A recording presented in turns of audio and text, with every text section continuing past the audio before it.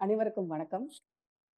நான் வந்து ALP astrologer Valarmathi Ashok. இன்னைக்கு வந்து நமக்கு ரொம்பவே தேவையான ஒரு ஒரு தலைப்புல தான் எடுத்து இப்போ ஒரு கலந்துரையாடலாக பண்ணலாம் அப்படின்ற ஒரு ஒரு நிகழ்வு. என்னன்னா, பாரம்பரியமாக நம்ம வந்து நிறைய பல விஷயங்களுக்கு ஜோதிடம் நம்ம பார்க்கறது, ஜோதிடம் மூலமாக தீர்வுகள் க எடுத்துக்கிறது அப்படிங்கிறது நம்ம பாரம்பரியமாக நடந்துகிட்டு இருக்கிற ஒரு விஷயம் தான். அந்த வகையில குறிப்பா ஒரு விஷயத்துக்கு மட்டும் இப்ப வரைக்கும் அந்த பாரம்பரியத்துல எந்த ஒரு மாறுபாடுமே இல்லாம பாக்குறது எதுக்கு அப்படின்னா, திருமணம், திருமணம் சார்ந்த நிகழ்வுகள்.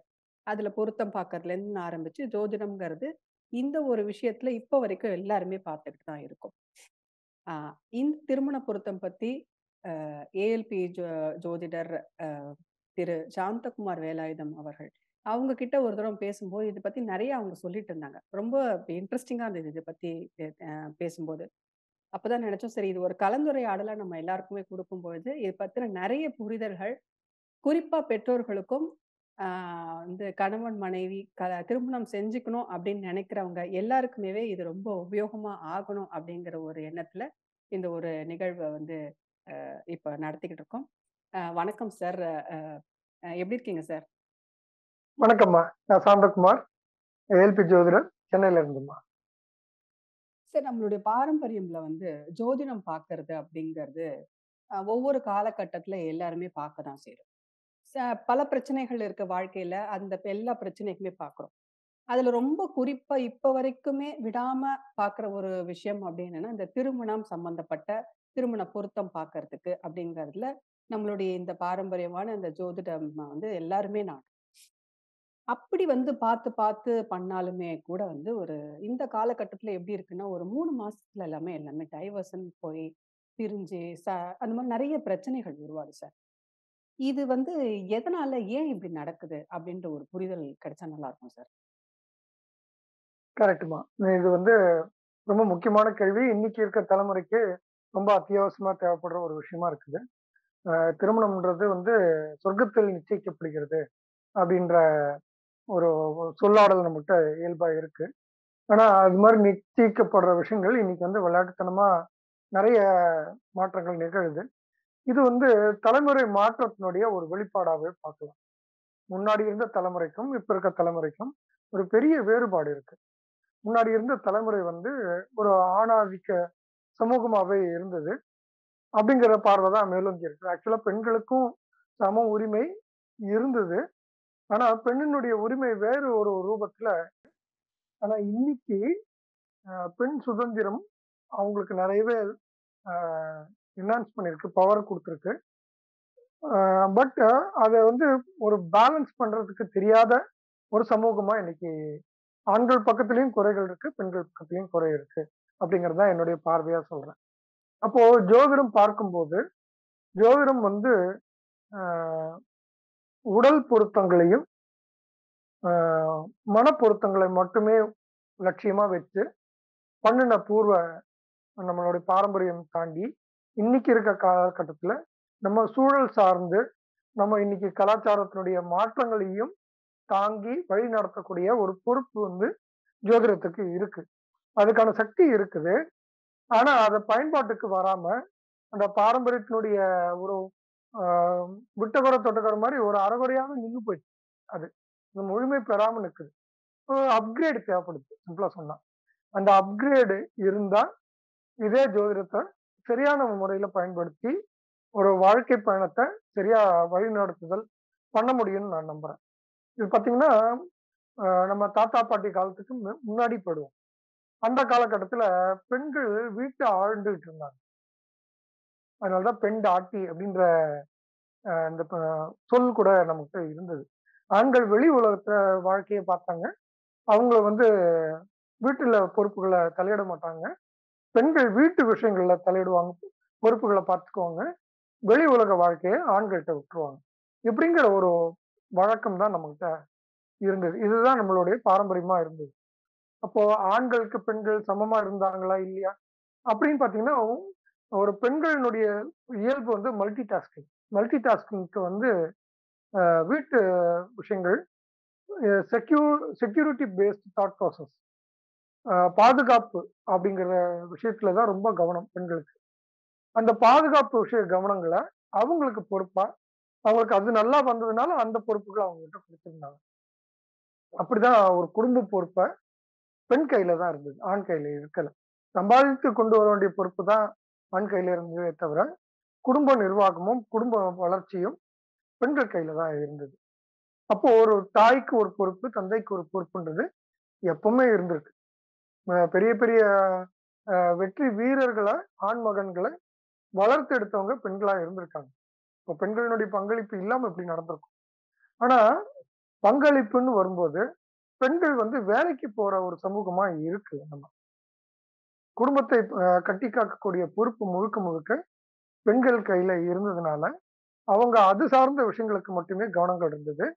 வளர்க்கும் போதே ஆண்கள் மிஸ் பண்ற விஷயங்களை பெண்கள் பேக்கப் பண்ணக்கூடிய ஒரு பார்ட்னரா ஃபேமிலி பார்ட்னரா இருந்ததுதான் பெண்களுடைய ரோலா இருந்தது.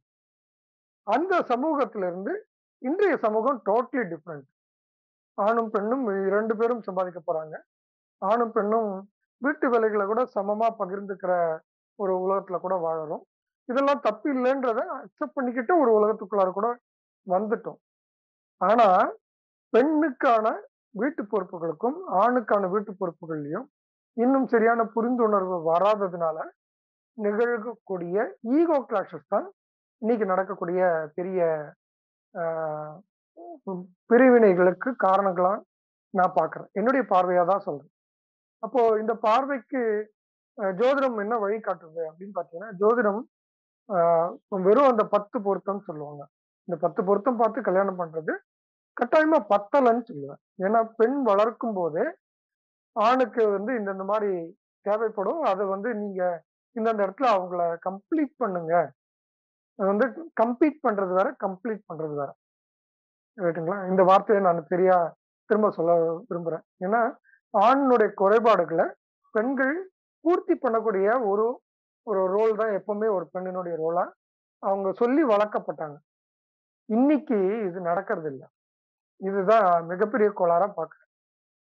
ஆண்களுக்கு பூர்த்தி பண்றது பத்தில தானே ஒரு முழுமையான ஒரு மனுஷனா ஒரு ஆணையும் தானே ஒரு முழுமையான ஒரு மனுஷியா ஒரு பெண்ணையும் வளர்க்கப்படுறாங்க. இதனுடைய கோளாறுகள் தான். அப்படி இருந்தா ஒரு ஆணுடைய துணை பெண்ணுக்கோ பெண்ணினுடைய துணை ஆணுக்கோ தேவைப்படல அப்படிங்கிற ஒரு காலகட்டத்தை கூட நோக்கி நம்ம நகர ஆரம்பிச்சிருக்கோன்றதுதான் இன்னைக்கு கலாச்சார சீரழிவுக்கு காரணமா நான் பார்க்குறேன். இது என்னுடைய கோணமாவே வச்சுக்குவோம். ஏன்னா இதுல மாறுபட்ட பல கருத்துக்கள் வரலாம். ஆனா என்னுடைய கருத்தா இதை இங்க வலியுறுத்துறேன். அப்போ ஆணுடைய முழுமை கிடையாது பெண்ணுன்றதும் ஒரு முழுமை கிடையாது. அவங்கவுங்களுக்குன்னா தனித்தன்மைகள் இருக்கு. இந்த தனித்தன்மையில என்ன விசேஷம் அப்படின்னா ஆண்கிட்ட இருக்க குறைகள் எல்லாம் பெண்களால நிவர்த்தி பண்ணக்கூடியதாகவும் பெண்களினுடைய குறைகளை ஆண்கள் நிவர்த்தி பண்ணக்கூடிய ஒரு கட்டமைப்பு தான் அந்த உடல் ரீதியான அவங்க ஆஹ், அமைப்புகளே இருக்கு. ஆணுன்னாலே இந்த குறைகளோடு இருந்தாதான் அது ஆணுன்னே சொல்லலாம். இந்த குறைகளோடு இருந்தாதான் அது பெண்ணுன்னே சொல்லலாம். இதை பூர்த்தி பண்ணக்கூடிய சமமான சக்திகளா இரு சக்திகளை சேர்த்து வைத்து தான் ஒரு குடும்பம் உருவாகுது. இப்படிதான் நம்ம கட்டமைப்பே இருக்கு. இதை புரிந்து இருந்துதான் அதுக்கான விஷயங்களை வளர்க்கும் போதே சொல்லப்பட்டு அவங்க அந்த குழந்தைகள் வளர்ப்புன்றது பேரண்டிங்ன்றது அழகா நடந்தது. ஆனா இப்படி நடக்கல இப்போ. இது வந்து வேறு ஒரு கோணத்துக்கு நகர்ந்து போயிட்டு இருக்கு அவங்கவுங்களே ஒரு முழுமையான மனிதனா உருவாக்குற ஒரு நிகழ்வை நோக்கி நம்ம நகர்ந்துகிட்டே இருக்கோம். இதை ஒரு குறைபாடா பார்க்கிறேன். ஓகே. அடுத்தது பாத்தீங்கன்னா திருமணம் அப்படின்னு வரும்போது அது வந்து ஒரு ஒரு ஆணுக்கும் ஒரு பெண்ணுக்கும் நடக்கிற திருமணமா இருக்கல முன்காலத்துல. அது வந்து ஒரு குடும்பத்திற்கும் இன்னொரு குடும்பத்திற்கும் நடந்தப்பட்ட ஒரு பந்தமா தான் இருந்தது. அதனால ஒரு ஆணுக்கோ பெண்ணுக்கோ திருமணம் ஆன பிறகும் இருக்கிற சச்சரவுகளை அந்த இரு குடும்பத்தினர் சேர்ந்து அதுக்கு வழி நடத்துதல் பண்ணக்கூடிய இடங்கள்ல பெரியவர்கள் இருந்தாங்க. ஆனா இன்னைக்கு அந்த மாதிரி ஒரு கட்டமைப்பே இல்லை. அதை டோட்டலா நம்ம உடைச்சிட்டோம். குறிப்பா இதை சொல்லணும்னு நினைக்கிறேன். ஒரு அலெக்சாண்டர் வந்து போர் தொடுத்து வந்த போது ஒரு கிராமத்துல ஒரு பஞ்சாயத்து நடக்குது. இரு நில ஜுவாந்தார்கள் பெரிய நிலத்தினுடைய அதிபதிகள் ரெண்டு பேர். அவங்களுக்குள்ள வர சண்டை. என்ன சண்டைன்னா இது என் வரப்பு இல்லை அவன் அவன்து அப்படின்னு சொல்லியும் அவர் வந்து அந்த வரப்பு எந்த இல்லை இது அவரது தான். ஆனா அவரு தேவைக்கு அதிகமா என்கிட்ட கொடுத்துட்றாரு. இது எந்த இல்லை எப்படின்னு ஒரு சண்டை உல்டா. நமக்கு பொதுவாக என்னன்னா இது எந்துன்னு சண்டை போடுற இல்லாம உள்டால அந்த சண்டை இருந்ததா சொல்லுவாங்க. இந்த இதுக்கு என்னத்த பஞ்சாயத்து பண்ண முடியும்? அப்படின்னு அவர் முழிக்கிறாரு. அந்த பஞ்சாயத்தை பண்ணவர் ரொம்ப சாதுரியமா அழகான ஒரு முடிவு எடுக்கிறாரு. என்ன சொல்றாருன்னா உனக்கு எத்தனை குழந்தைங்கன்னு கேட்கிறாரு அவருக்கு ஒரு கல்யாண வயசுல ஒரு பையனும் இந்த பக்கம் கல்யாண வயசுல ஒரு பொண்ணும் இருக்கிறத பார்த்துட்டு இவங்க ரெண்டு பேருக்கும் கல்யாணம் பண்ணி வச்சு அந்த நிலத்தை ரெண்டு பேர் பேர்ல எழுதுங்க. அப்படின்னு ஒரு தீர்ப்பு கொடுத்துதான் சொல்லுவாங்க. அப்போ பெரிய பெரிய பிரச்சனைகளுக்கு கூட திருமணம் ஒரு தீர்வு அமையக்கூடிய அளவுக்கான நிகழ்வுகள் தான் நம்ம பாரம்பரியம். அப்போ இது வந்து ஒரு ஆணுக்கும் பெண்ணுக்கும் நடக்கிற ஒரு நிகழ்வா இல்லாம ஒரு சமூக கூட்டமைப்பாக தான் திருமண பந்தம்ன்றது இருந்தது. இன்னைக்கு அப்படி இல்லை. இன்னைக்கு இல்லவே இல்லை. ஏன்னா ஒரு அப்பா அம்மாவுக்குன்னா குறைந்தபட்சம் நாலு குழந்தைகள் இருக்கும். அந்த வளர்க்கும் போதே என்ன நடக்கும் அப்படின்னு பாத்தீங்கன்னா முதல் குழந்தைய ரொம்ப கவனிச்சு கவனிச்சு வளர்ப்பாங்க. ரெண்டாவது குழந்தை மூணாவது குழந்தை நாலாவது குழந்தை எல்லாம் வரும்போது இது எப்படியும் வளரப்போகுது நான் வளர்க்கறது இல்லை அப்படிங்கிற லெவலுக்கு தான் போயிடும் அது. அப்போ வந்து ரொம்ப கேர் பண்றது செல்லம் கொடுக்கறது இந்த மாதிரி நிகழ்வுகள்லாம் இருக்காது. கண்டிப்பு வந்து எங்க காட்டணுமோ அங்க கரெக்டா காட்டக்கூடிய ஒரு சமூக அமைப்பு தான் இருந்தது. அதில் அதுல சித்தப்பானுடைய ரோலு சித்தியினுடைய ரோலு பெரியப்பா அத்தை மாமா தாத்தா பாட்டி இவங்க அத்தனை பேருக்குமே அந்த குழந்தை வளர்ப்புல ரோல்ஸ் இருந்தது. இன்னைக்கு ரோல்ஸ் எல்லாம் பிரேக் ஆயிடுச்சு. இது எதுவுமே இல்லாத ஒரு காலகட்டம். ஏன்னா இன்னைக்கு ஒரு குடும்பத்துக்கு ஒரு கணவன் மனைவிக்கு ஒரு குழந்தை. அதுவே ஜாஸ்தி அப்படிங்கிற ஒரு காலகட்டம்லாம் வந்து மேக்சிமம் ரெண்டு குழந்தை. அதுலேயும் அந்த குழந்தைகளும் வளர்ந்து வரும்போது அடுத்த தலைமுறை உருவாக்கும் போது ஒரு அத்தை அல்லது ஒரு மாமா அல்லது ஒரு சித்தப்பா அல்லது ஒரு பெரியப்பா அவ்வளவுதான் இருக்குது கட்டமைப்பு. அதுலயும் கூட அந்த பெரியப்பாவுக்கு இந்த குழந்தை வளர்ப்புல பொறுப்பு இல்லை. தலையிடாத அப்படின்னு சொல்ற ஒரு சமூகத்துக்கு நம்ம நகர்ந்து வந்துட்டோம். இப்போ ஒரு வளர்ப்புல இருக்கிற குறைபாடினுடைய ஒரு குறைபாடா மெயினா அங்கே இருக்குது. இது வெறும் திரும்ப ஜோதிடத்தை மட்டும் போய் சொல்றதுல அர்த்தம் இல்லை. அதனால்தான் இதெல்லாம் குறிப்பிட்டு சொல்றேன். ஏன்னா அன்னைக்கு பார்த்தது உடல் சார்ந்து மனம் சார்ந்து அவங்களுக்கு பொருத்தம் இருந்துருச்சுன்னா மீதி வர பிரச்சனைகளை குடும்பம் பார்த்துக்கும். அப்படிங்கிற அளவுக்கு ஒரு நிகழ்வு இருந்தது போய் இது இது தனிப்பட்ட மனிதர்களுடைய ஒரு பந்தமா மட்டுமே மாறி போய் இருக்குது. இந்த மாற்றத்தை முதல்ல நம்ம கணக்கில் எடுத்துக்கணும். அந்த கணக்கீட்டுக்கு வழி நடத்தக்கூடிய ஒரு இடத்துக்கு ஜோதிடம் வந்தாதான் ஜோதிடத்தினுடைய மதிப்பு கரெக்டா இருக்கும். அப்படி இல்லாம இந்த ஒரு பத்து பொருத்தம் மட்டும் பார்க்கும்போது அந்த உடல் பொருத்தம் மனப்பொருத்தம் இருக்கும். இல்லைன்னு சொல்லலை. ஆனா சூழல் மாற்றம்ன்றது நடந்துகிட்டே இருக்கு. இந்த சூழல் மாற்றத்தை கணக்கீட்டுக்குள்ளார நம்ம எடுத்துக்காத போது அங்க வர செட்பேக்ஸ் தான் இன்னைக்கு இருக்க பிரச்சனை. ஏன்னா கணவனுடைய ரோல் என்ன? பணம் சம்பாதிச்சு கொண்டு வர்றது. மனைவியினுடைய ரோல் என்ன? குடும்பத்தை கட்டி காக்கிறது. அப்படிங்கிற ரோல் போய் மனைவி சம்பாதிச்சு கொண்டு வர்றது. கணவனும் வந்து பாத்திரம் கழுகிறது துணி வைக்கிறது வீட்டுகளை சுத்தமா வச்சுக்கிறது அப்படிங்கிற பொறுப்புகளை பகிர்ந்துக்க ஆரம்பிச்சிட்டோம். இது நல்ல நோக்கம்னா நல்ல நோக்கம் தான் இதெல்லாம் ஒன்றும் தப்புன்னு நான் சொல்ல வரல.